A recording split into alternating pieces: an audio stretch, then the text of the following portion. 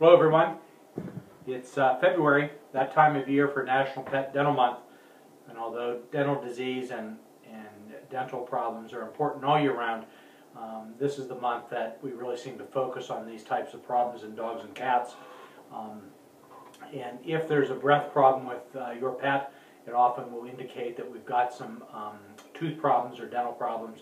And that can be a source of pain, infection, and certainly uh, bad breath. So um, those are all issues that uh, um, can be addressed or can be helped if we can get a good look at the teeth um, and if need be get a procedure scheduled where they come in for the day. Uh, we always take the right precautions with uh, preoperative blood work or blood tests to make sure they're nice and healthy. And then anesthesia, which scares everyone when we're talking about uh, taking care of teeth, is something that we monitor very closely. We have a technician that uh, monitors blood pressure, heart rate, body temperature, blood uh, blood gas or blood oxygen levels um, to keep things as safe as possible. Um, we hope that we can get these problems taken care of before oral surgery is needed. That's why we like to see these teeth uh, be cleaned uh, early on. But if we do run into trouble, we uh, certainly could do some oral surgery to get um, diseased teeth out of there.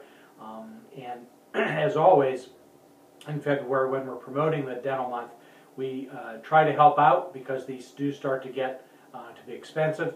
Um, and our usual 20% off uh, of the teeth cleaning procedure or, or dental procedure is what uh, is standard in February. These are very popular. And in the last couple of years, uh, we've had so many um, cases or so many dogs and cats that were scheduled, we had to extend this into March. So I expect that to be the same this year.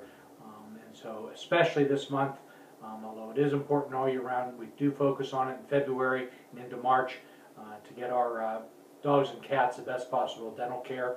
So please, um, if you uh, see this uh, webinar or see this on YouTube and have questions, give us a call. And certainly, if we see your pet in the next four to six weeks, we're going to be trying to stress dental health. So give us a call if that's something that is uh, um, going to appeal to you and help your dog or cat.